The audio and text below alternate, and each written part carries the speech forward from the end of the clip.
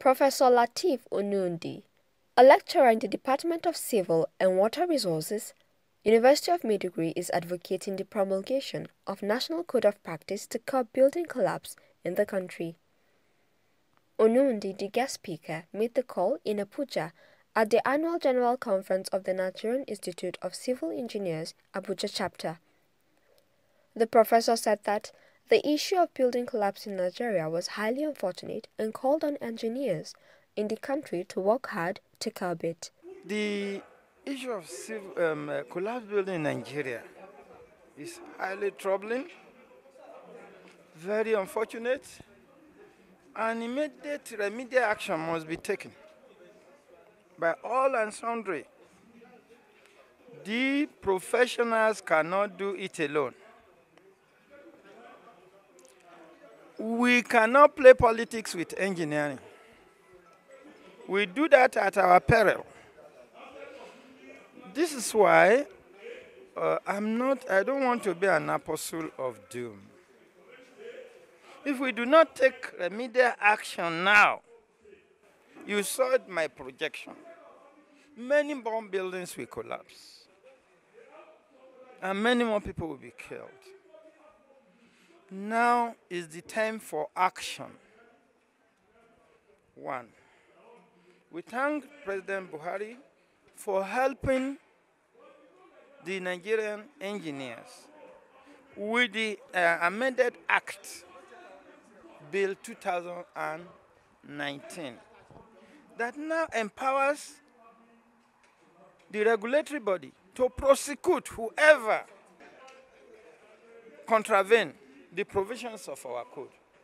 But even as engineers, we need to work harder. We need to carry out our own responsibility because we do not have a native code of practice. We have to develop material code of practice, design method code of practice. We use the British and other codes of practice for design in this country the weather conditions, culture, and so many other, even in the country alone, we cannot have a uniform condition all through. For her part, Mrs. Aisha Umar, national chairman of the institute, urged members of the public to always engage professionals, stressing that non-professionals would only be more concerned about profit. Umar said that the conference was an avenue to create awareness on and sensitize stakeholders and citizens to the harm inherent in engaging non-professionals in building projects.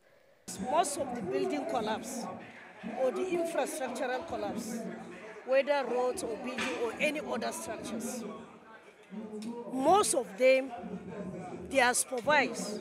Only designed by an engineer, but not supervised by by engineer.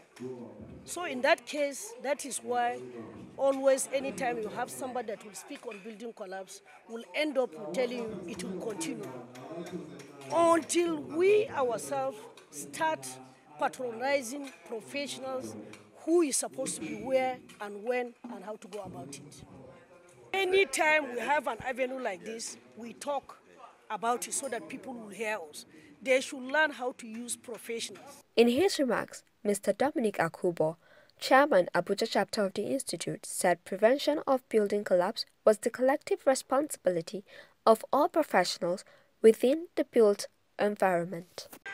At the end of this conference, we shall collate important policy points arising from this conference and make official representation to concerned authorities for further necessary actions and for the benefit of the general public. Building collapse prevention is a collective responsibility of all professionals within the built environment, with varying degrees of responsibility. I therefore urge all stakeholders, regulatory and professional bodies, and indeed members of the built environment to collaborate effectively and efficiently by genuinely engaging one another towards reducing, if not eradicating, the menace of building collapse.